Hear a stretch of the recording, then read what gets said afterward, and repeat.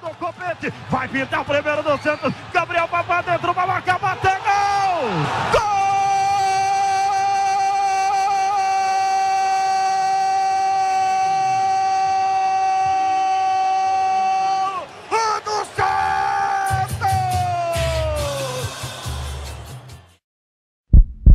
Eu, eu não sabia como seria aquele dia.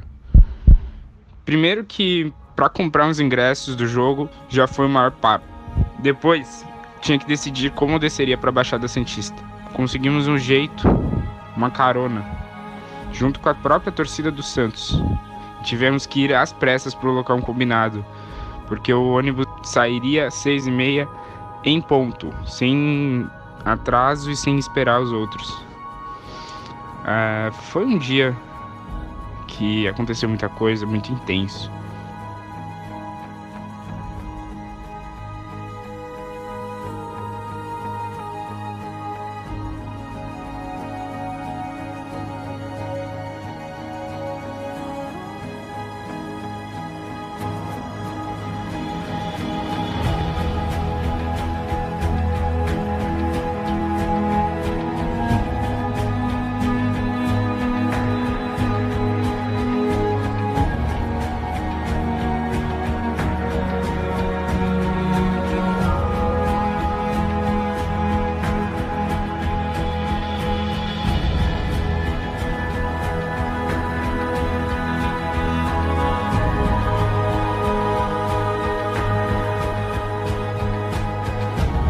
Do lado de fora, muita festa que indica que essa festa foi feita justamente no momento em que chegava a delegação do Santos. Então a informação é essa, o peixe já está na casa e daqui a pouquinho os atletas começam a pisar aqui no campo mais sagrado Mais de 20 minutos para chegar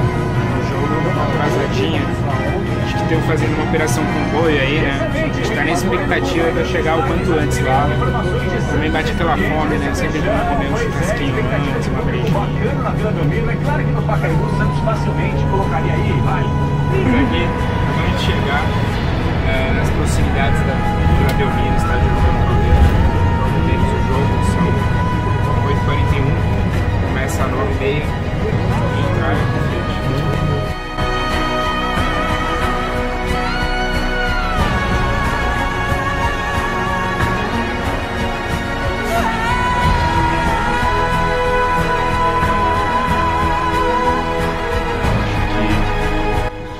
jogos têm esse clima, não é? Você não está indo ali só ver o jogo, você está indo ali é, passar por toda uma identidade com as pessoas que estão em volta. Você vai para uma social, ao passo que você toma uma cervejinha antes de entrar no estádio.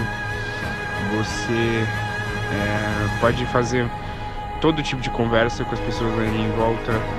É, tem toda uma interação da torcida e e num ambiente de Libertadores isso fica mais forte, fica uma, uma, uma sensação de semi-guerra, mas uma, uma paz armada boa, em que todos estão ali por uma ideologia, por uma coisa, que é o Santos.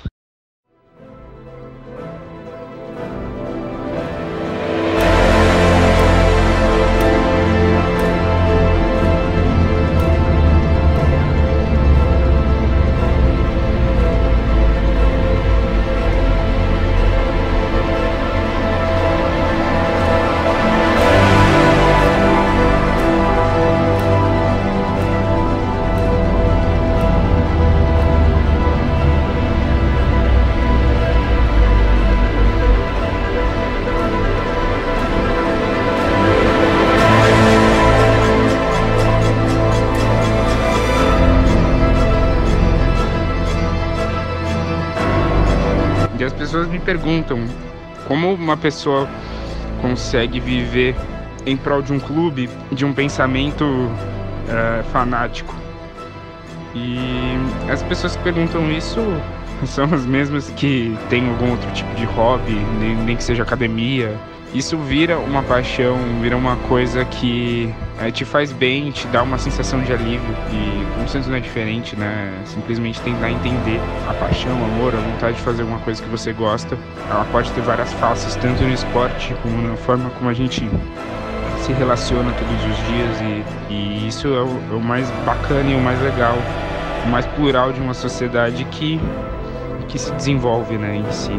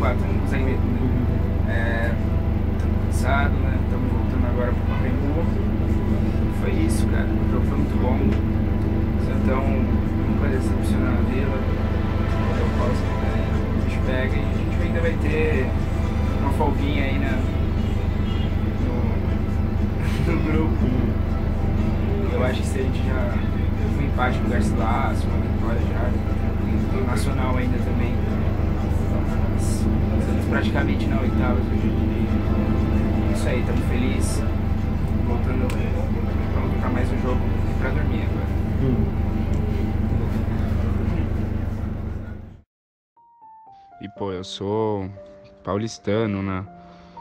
É, sempre me perguntam por que desse amor pelo Santos e de ter uma camisa do Santos, de, de ver os jogos, de acompanhar. Isso tudo para mim criou um, um, ambiente em que, pô, eu podia estar tá triste em um momento com alguma coisa que acontecia em casa, ou, mas o que me animava é que eu podia colocar a camisa do Santos, ver um jogo.